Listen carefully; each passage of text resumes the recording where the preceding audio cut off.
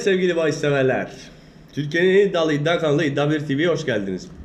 Bugün sizlerle 21. hafta Toto bültenini paylaşacağız. Hayırdır birader ne yapıyorsun Recai abi bağlamıştınız. sen? Lan gel buraya.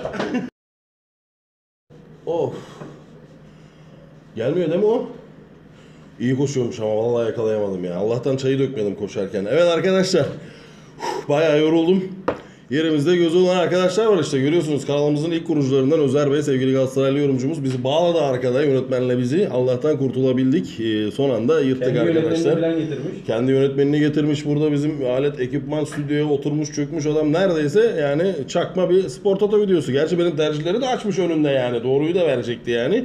Neyse yırttık bak bakayım o gelecek olursa yine bir şey yapalım. Evet arkadaşlar e, hemen maçlarımıza geçelim sizi daha fazla bekletmeyelim. E, geçen hafta neler oldu önce ona bakalım. E, geçen hafta 20. haftada biliyorsunuz 15 bilen yoktu. Eğer olsaydı 578.492 lira kazanacaktı. 14 bilen 427 kişi 774 lira, 13 bilen 7334 kişi 45 lira, 12 bilen 54827 kişi 7 lira almış.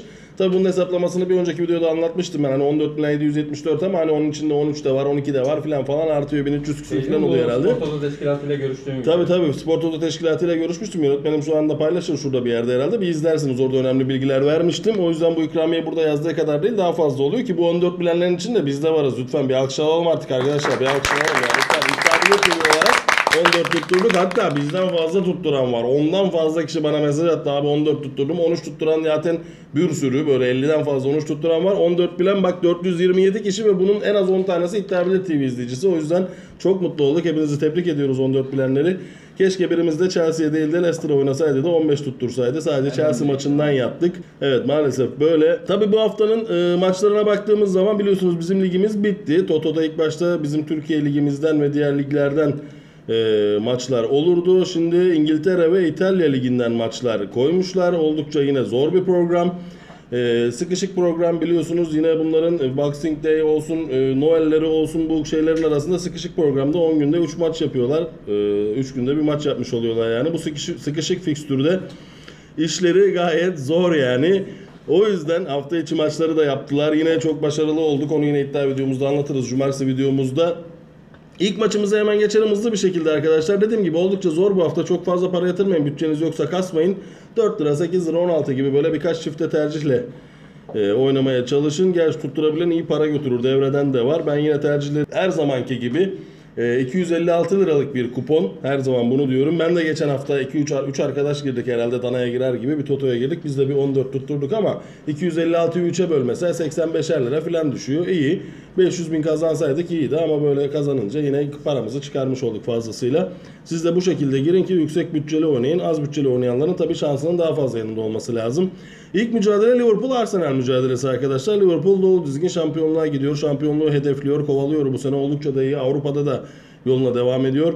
Arsenal hafta içinde tökezledi. Var demiştik mücadelede golü de yedi Brighton'dan ama bir türlü çeviremedi ondan sonra. Ee, belki de bu maçı biraz düşünerekten kafalar buraya kaymış olabilir. Liverpool yine dolu dizgin 4-0 yendi Newcastle United'ı. Kendi sahasında ben Arsenal'e yenileceğini düşünmüyorum. Evet Liverpool'un eksiklerine baktığımız zaman Josep Gomez e, defans oyuncusu ve Milner şüpheli görünüyor. Arsenal'de eksikler var. Mustafi gibi, Monreal gibi. Şüpheli gerçi bunlar oynayabilirler. Sakat olan Bellerin var. Holding'in sakatlığı devam ediyor. Onun dışında da Mkhitaryan'ın e, ayak tarak kemiği kırılmış. Bundan dolayı oynayamayacak. Welbeck'te de kırık var. O da oynayamayacak. Yani bu tür eksiklerle Liverpool deplasmanında işi zor Arsenal'in. Tek tercih yapacaklar. Tabii bir tercih yapabilirler. Ben Liverpool'un zorlansa da alacağını düşünüyorum. Kuponuma 1 ve 0'ı birlikte aldım. Arsenal galibiyeti sürprizi beklemiyorum. En fazla sürpriz beraberlikle çıkar diye düşündüğümden 256 liralık kuponum da benim ilk e, tercihim kuponuma koydum dediğim şeylerin toplamı 256 lira arkadaşlar. Onu söylemiştik zaten. 1 ve 0 koydum ben kuponuma. E, sizler de bu yönde tercihlerinizi yapabilirsiniz. 2 numaralı mücadelede Southampton kendi evinde Manchester City'yi ağırlayacak. Manchester City bu aralar bir bocalama dönemine girdi. Bir çöküş dönemine girdi. Şöyle bir baktığımız zaman e, en son hatırlıyorsanız Crystal Palace'a kendi evinde yenilmişti. Arkadaşlar bu maçlar yenildi diye veya şey düşünmeyin. Mesela maçı izleyemediyseniz özetini açın izleyin. City kendi evinde 3-2 Palace'a nasıl yenildi? Nasıl goller yedi? Nasıl oynadı? Neler kaçırdı? Mesela bunlar önemli. Leicester'a da e, hafta içinde E, 2-1 yenildi deplasmanda ama nasıl bir oyun oynadı yani. Bunları mutlaka bir izleyin yani. Mesela Chelsea'de yenildiği zaman Chelsea mesela 2 direği var, %100 pozisyonları var ama 1-0 yenilmişti biliyorsunuz. Onun gibi yani Leicester, Chelsea mesela o maçı 3-1, 4-1 alabilecek bir mücadeleymiş ama olmayınca olmuyor işte. Şans da lazım biliyorsunuz. Southampton'da Arsenal 3-2 yendikten sonra Huddersfield deplasmanından da 3-1 ile döndü. Ama City 2 maçları kaybediyor şimdi. Hem Crystal Palace'a kendi sahanda kaynet, kaybet. Hem Leicester deplasmanına git kaybet. Tabii ki bunu artık toparlamak isteyeceklerdir. Şampiyonluk yarışında 2 maç üst üste e, kaybetmiş olmak büyük e, moral bozukluğuna yol açacaktır ama illaki toparlanacaktır. Southampton'da şu an evet gayet formda ama e, yine de Manchester City'nin elinden kurtulamayacaktır diye düşünüyorum. Ben zor da olsa Manchester City kazanacaktır ama bütçesi olanlar ben bütçemi 256'ya göre ayarladığım için sadece bir oynadım burada. Bütçesi olanlar sıfırı da alsınlar. Southampton galibiyeti beklemiyorum. 3 maç üst üste öyle bir sürpriz yapmayacaktır bize Manchester City diye düşünüyorum. Dediğim gibi ben biraz riski aldım. Direkt City oynadım. Biliyorsunuz Toto'da her zaman için en az 4-5 maç böyle sürpriz gelecekse bazı maçlarda sürpriz arayacağız ki hem o sürpriz gelecek hem de sadece siz yazmış olacaksınız ki çok parayı tutturabilin. Bunu dediğim gibi bir önceki videoda anlatmıştım. İzlersiniz izlemeyen varsa. Bir sonraki maçımıza geçelim. 3 numaralı mücadele. Tottenham kendi evinde Wolverhampton'ı konuk edecek ve Tottenham hala dolu dizgin devam ediyor yoluna.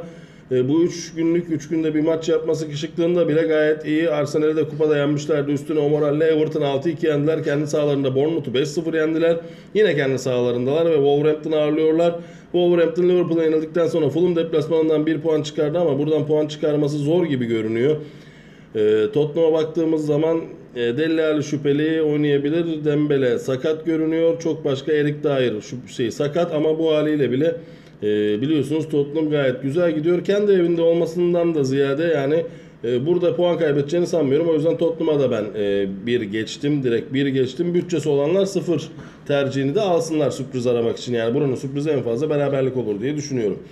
Bir sonraki mücadelemiz 4 numaralı maç. Crystal Palace kendi evinde Chelsea'yi ağırlayacak. Ee, Bu maçtan biraz çekindim aslında sürpriz arayabilir miyiz diye düşündüm ama hani Crystal Palace Leicester'ı yendi, City'yi deplasmanda yendi. Hafta arasında hatırlarsanız Cardiff mücadelesinde çok yüklenme olur bu maça. 1.45'e kadar düşmüş oranı kendi evinde Palace favori herkes alacak diye yüklenecek ama oynamayın demiştim.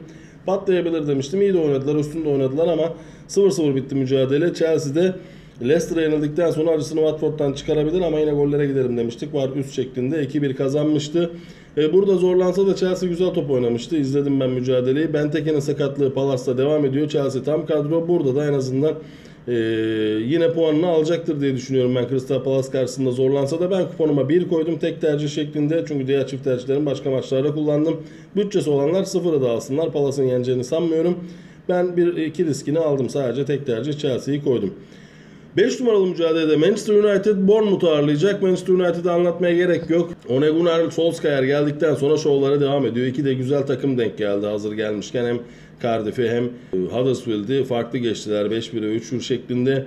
Bournemouth'a baktığımızda Brighton 2-0 yenmişti ama Tottenham deplasmanında dağıldı. Şimdi Manchester United deplasmanında da çok bir şeyler yapabileceğini sanmıyorum. Zaten defanstan iki tane, bir tane sakat, bir tane şüphelisi var. Orta sahada da e, sakatlığı olan önemli bir futbolcuları var. United'a baktığımız zamansa çok önemli bir sakatı yok. Şüpheli var bir iki tane ama oynar oynayabilir. Şüpheli olanlar sakatlıktan yeni çıkanlar veya hafif sakatlığı olanlar falan oluyor. O yüzden Manchester United'ın da burada puan kaybedeceğini sanmıyorum. Ben yine tek tercih geçtiğim maçlardan biri direkt bir koydum kuponuma. 6 numaralı mücadelede Brighton kendi evinde Everton'u konuk edecek. Yine Arsenal'le oynadı hafta içi Brighton. Karşılıklı gol var önermiştik ilk tercih olarak. 1-1 bitti mücadele. Üstünlük sağlayamadı iki takım da birbirine ama Brighton onun öncesinde Burnley'e yenilmişti. Chelsea ve Bournemouth'a yenilmişti. Biraz toparlanmış sayılabilirler ama Everton'da e, hem City'ye hem de Tottenham'a kaybettikten sonra Burnley karşısında yine gollü bir galibiyet aldı. 5-1 ile e, baktığımız zaman şöyle Brighton'ın e, kalecisi, az kalecisi ülkesinin milli takımında görünüyor. Avustralyalı kaleci. Onun dışında orta sahada bir eksikleri var. Everton da burada yani tek tercih olarak tırstım açıkçası. Ben çekindim. O yüzden 0 ve 2 aldım. Sizlere de bu şekilde tavsiye ederim. Maçın berabere bitme olasılığı da yüksek. Brighton'ı yenebileceğini sanmıyorum da büyük ihtimalle berabere bitebilir ama Everton da galip gelebilir. E, tek tercih yapacaklar. 0 tercih etsinler ama ben 0 ve 2 birlikte aldım. Hani bir tarafa dönerse Everton'ı alır diye burada çift tercih yaptım. Sizler de bir bakarsınız hangisi kafanıza yatıyorsa. Sizin sürpriz arayacağınız maçta benimki farklı olabilir. 8-9 maç alırsınız. 5-6 maçı kendiniz çevirir kendinize göre koyarsınız. İnşallah bu hafta 15'i biz veya aramızdan biri bilir ki burada da kutlarız. Biz bilirsek zaten güzel hediyeler bekliyor sizi yani emin olun. Evet bir sonraki mücadele 7 numaralı mücadele. Fulham kendi evinde Huddersfield'i ağırlayacak. İngiltere Premier Ligi'nin alt sıralarını ilgilendiren, düşme potasını ilgilendiren bir mücadele. Son sırada yer alan Huddersfield 10 puanla, Fulham ise bir üst sırada 19. 11 puanla. Bu tip takımların birbirleri oynadıkları maçlarda her zaman ev sahibi olan takım çünkü direkt rakibi olduğu için 3 puan almak ister. Mecbur yani final maçı gibi görür onu direkt rakibi çünkü iç sahada Leicester'a yenilmemişti. West, West Ham'a 2-0 yenildi ve kendi evinde e, Wolverhampton'la berabere kaldı hafta arasında ama Huddersfield'in düşüşü hala devam ediyor. Yani bayağı bir ne düşüş derler ona serbest düşüşte yani 6 maçtır galip gelemiyor. Bu deplasmanda evet biraz zorlayabilirler. Mutlaka bir puan almak isteyeceklerdir ama orta sahanın önemli isimlerinden Aaron Moy hafta arasında da sakattı. Şimdi de hala sakat devam ediyor. Fulham'ı ben kendi evinde galibiyete yakın görüyorum ama direkt bir oynanacak bir mücadele değil. Dediğim gibi direkt rakipler birbirlerine yakın rakipler Fulham'da evet kendi sahasında yenebilir ama ben sıfırı da aldım yanına. Hani Huddersfield'dan bir galibiyet beklemiyorum ama bir beraberlik sürprizi çıkabilir diye 1 ve 0 birlikte aldım. Ben sizlere de bu şekilde tavsiye edebilirim.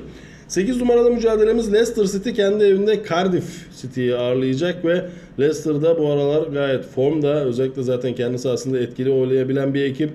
Baktığımız zaman bu sıkışık fikstürde e, Chelsea yendi deplasmanda. Arka arkaya bu iki takımı yenmek büyük özgüven kazandırmıştır. Bir de Manchester City yendi kendi sahasında hafta arasında 2-1.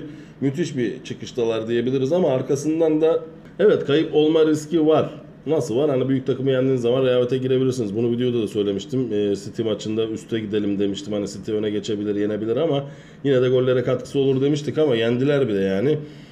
Yine o maçı da bir izleyin. Maçın hakkı 2-1 değildi yani. City yine güzel oynadı. Cardiff City'ye baktığımız zaman deplasmanlarda onlar da e, 9 maçta 2 beraberlik 8 mağlubiyetleri var. Leicester City'ye dayanabileceklerini sanmıyorum. Beraberlik çıkardığı maçlar da Huddersfield mesela. Biri de Crystal Palace. O yüzden Leicester bu hazır formdayken bu takımı da yenebilir diye düşünüyorum ama sürpriz arayacaksanız yine bir beraberlik sürprizi arayın diye düşünürüm. Ben Cardiff'in yenebileceğini sanmıyorum. Ben kuponuma direkt 1 koydum çünkü bazı maçlara tek tercih yapmak zorundayız. Sıfırı da alın yanında bütçesi olanlar olmayanlar benim gibi tek tercih 1 koyabilirler. 9 numaralı mücadelede Watford kendi evinde Newcastle United'ı konuk edecek. Watford takımı da yine kendi evinde etkili bir ekip özellikle ee, son zamanlardaki performansına şöyle bir baktığımız zaman e, Cardiff'i yenmişlerdi ve West Ham'ı deplasmanda yenmişlerdi. Hafta arasında tabii nispeten zor bir rakip olan Chelsea'ye gol atarak 2-1 yenildiler. Newcastle United'da e, Fulham'ı kendi evinde yenememişti. Bir 0-0 berabere kaldıktan sonra e, Liverpool'a 4-0 yenildi hafta arasında. Deplasmanlarda e, kendi ayarlarındaki ekiplere karşı bir şeyler yapabiliyorlar ama daha güçlü ekiplere karşı pek direnç gösteremiyorlar. Watford'da zaman zaman sahasında etkili olabilen bir ekip. Mesela Huddersfield'i yendi sonra Liverpool City geldi. iç sahada oynadı. Onlara tabii yenildi. Sonra Cardiff geldi bir morallendi. Şimdi Chelsea geldi. Sanki Newcastle'a tekrar bir morallenme vaktidir diye düşünüyorum ben Watford için. İki takımda da eksik sakat cezalı yok ama mücadelenin mutlaka yanına sıfırının da alınması lazım diye düşünüyorum. Hani Newcastle'ın yenecek kadar bir sürpriz yapacağını düşünmüyorum da bir beraberlik çıkabilir ama Watford alabilir. Tek tercih yapacaklar. Direkt bir riskini alabilirler ama ben 1 ve 0'ı birlikte koydum arkadaşlar. 10 numaralı mücadelede Burnley kendi evinde West Ham United'ı konuk edecek. West Ham son zamanlarda eksiklerine rağmen e, güzel top oynayan, güzel çıkış yakalayan, üst üste 4 galibiyet alan bir e, görüntüdeydi ama Watford'a hafta içinde son mücadelelerinde 2-0 yenildiler. Gol bile atamadılar, şaşırttılar. Burnley'e baktığımız zaman onların durumu içler acısı zaten. içeride dışarıda toplamda söylüyorum 10 maçta bir galibiyetleri var. O da Brighton'a karşı kendi evinde. Onun dışında bir de Burnley ile berabere kalmışlar. 8 maçta da yenilmişler yani. Bazı maçlarda gol de atamamışlar. Şimdi West Ham'da formda ama onların da hani Arnautovic sakat, Yarmolenko sakat. Gerçi bu eksiklerle zaten bu çıkışı gerçekleştirmişlerdi ama burada ben Burnley kendi evinde olsa bile West Ham'a hani galip gelebileceğini sanmıyorum West Ham karşısında ama 0 ve 2'yi birlikte aldım. West Ham United yenilmeyecektir diye düşünüyorum ben. Sizler de kafanıza yatarsa bu şekilde tercih edebilirsiniz. Tabii bizim bu 0-2'ler veya 1-0'ların çoğu 0 biterse müthiş olacak. Çünkü kuponumda şu an bakıyorum 4, 6, 8, 9 tane beraberlik var. Bu 9'un 6 tanesi 7 tanesi gelse müthiş olur beraberlik olarak. Dediğim gibi West Ham yenilmeyecektir. 11 numaralı mücadelede İtalya'ya geçiyoruz. İtalya'dan 5 mücadele var. Empoli kendi evinde Inter'i ağırlayacak. Geçmişten günümüze baktığımız zaman Inter'in Empoli'ye karşı yenilmişliğini görmüyoruz. Uzun o 10 küsür maç boyunca hiç yenilmemiş. Inter zaten gayet formda. Hafta arasında da son dakikada gelen golle Napoli'yi yenmişti. 1-0. Napoli 10 kişi oynadı tabi uzun süre onu hatırlatalım. Empoli düşüşte Fiorentina yenildi, Sampdoria yenildi, Torino deplasmanında farlık gösteremedi, 3-0 yenildi filan burada Inter'e. Hani bu kadar da moralli bir Inter'e ben zorluk çıkarabileceğini sanmıyorum. O yüzden Inter'i direkt geçtim arkadaşlar. 2 geçtim. Ee, sıfır ihtimali var tabii öyle bir risk var ama bütçesi olanlar koyabilecek. Sonuçta buna bir tercih daha koyduğun zaman 512 lira oluyor. O yüzden benim 256 liralık kuponumda ee, sadece Inter'i tek geçtim arkadaşlar. Yine yanıma 1-2 ortak bulabilirsem yine gireceğiz bakalım hayırlısı. Genoa Fiorentina 12 numaralı mücadelemiz Genoa Fiorentina Genoa yine kendi evinde etkili olan ekiplerden biri. Fiorentina'da ligin e, kalburüstü takımlarından biliyorsunuz ama o da düşüşte gibi sanki. E, son maçında aslında iyiydi. Empoli'yi yendi, Milan'ı yendi deplasmanda falan beklenmedik bir şekilde Parma'ya kendi evinde 1-0 yenildi yine üstüne oynadığı mücadelede. Genoa'da kendi evinde etkili olabilen onun dışında zaten son zamanlarda bir Atalanta sürprizi yapmış. Onun dışında mağlubiyetler, beraberlikler var. Ama kendi evinde 4 maçtır yenilmiyor. Sampdoria gibi e, Spal gibi takımlara en son Atalanta'yı yendi ama Fiorentina da dış sahada kolay kolay yenilmiyor 5-6 maçtır beraberlikler var. Ya bu maç direkt beraberlik kokuyor aslında çünkü Fiorentina'ya baktığımızda da defansta bir isim şüpheli gerçi oynayabilir. E, Victor Hugo var. Victor Hugo kırmızı kart cezalısı defansın önemli isimlerinden Fiorentina'da yine cezalı. Kırmızı kart cezalısı. Orta sahanın önemli bir ismi Gerson sarı kart cezalısı. Fiorentina'nın işi zor tabi burada. Büyük ihtimalle berabere bitecektir bu maç. Ama dönerse de Fiorentina'ya döner diye düşünüyorum. Ben 0-2 kullandım. Bunu böyle direkt 0 kullanıp oradaki bir tercih alıp başka bir yere koyabilirsiniz. Benim kuponumda 0 ve 2 yani. Fiorentina burada yenilmeyecektir diye düşünüyorum. 13 numaralı mücadelede Parma kendi evinde Roma'yı ağırlayacak. Parma da yine puanlarını genelde kendi evinde toplayan, kendi evinde tehlikeli bir ekip. Son 4 maçında da e, bir galibiyet, 3 beraberlik ama önemli değil. Kiev, Bologna, işte Frosinone gibi takımlara karşı Sassuolo'yu yenmiş. O da güzel bir başarı. Kendi evinde etkili. Roma'da Sassuolo'yu hafta arasında 3-0-3-1 gibi yener dediğimiz mücadelede pardon Sassuolo'da gol atar 3-1 yener demiştik. Tam da skoru tutturmuştuk. Dış sahada 4 maçtır kazanamayan bir Roma var.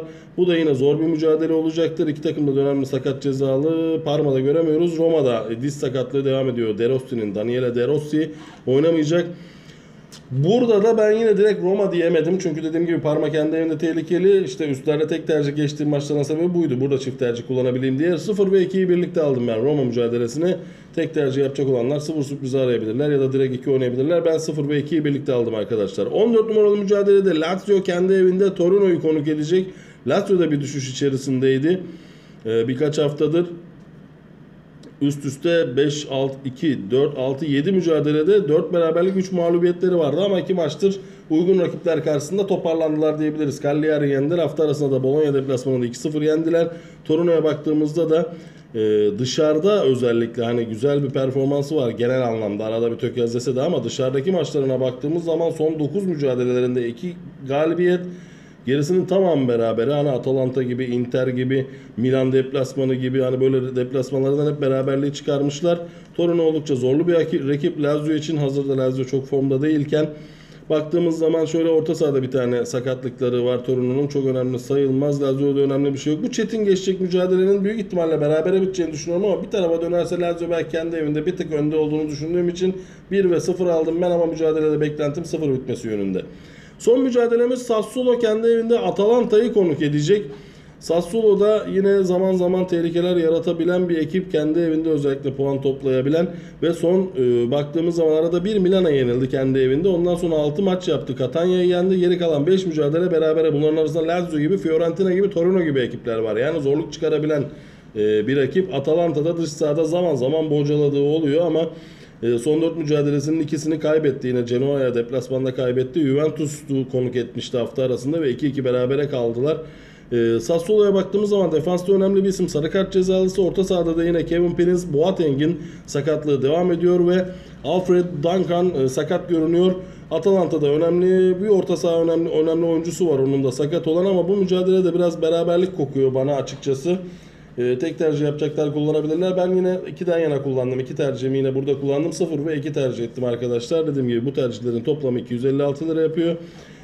Siz de maçlar hakkındaki görüşlerinizi yorumlar kısmına mutlaka bırakın arkadaşlar. Bana katıldığınız olur, katılmadığınız olur. Maçta sürpriz arayalım deyin. Birbirinizle etkileşiminiz çok iyi oluyor. Bakın orada ben de faydalanıyorum. Bakıyorum o bir şey diyor, öbürü abi şöyle diyor. O ona fikir danışın yani. Bunlar hep fikir danışmaca. Kim ne düşünüyor bir öğrenin. Yorumlar kısmına yorumlarınızı bırakın. Ben de elimden geldiğince sizlere eşlik etmeye çalışıyorum yorumlarınıza. Hala like yapmadıysanız buraya kadar bir like yaparsanız ve şurada benim resmim çıkacak birazdan. O tuşa basarak, o butona basarak kanalımıza abone olup bizleri takip ederseniz ve zil işaretine basıp abone olursanız her video yüklendiğinde sizlere bildirim bildirim gelmiş olur. Hepinize bol şanslar diliyorum. Bir sonraki videomuz Cuma gecesi muhtemelen yüklenecek. Cumartesi ve Pazar videoları. E, Cuma günü maç yok çünkü. Hepinize bol şanslar. Bir sonraki videomuzda görüşmek üzere. Hoşçakalın.